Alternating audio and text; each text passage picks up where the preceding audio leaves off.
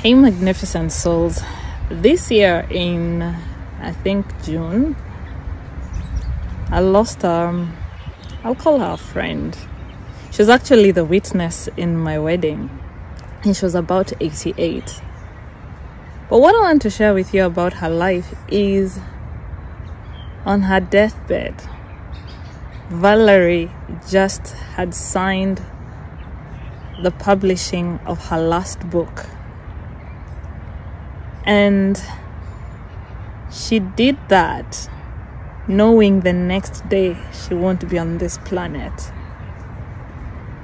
And I remember how that touched me and really made me see we are actually here to do work. And there's this feeling of completion. She gave me this gift of you're not here to be validated by others. At 88, none of these things even matter.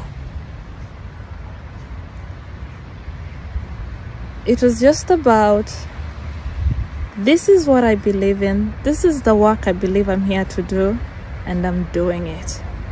Come what may. And I felt like sharing that with you.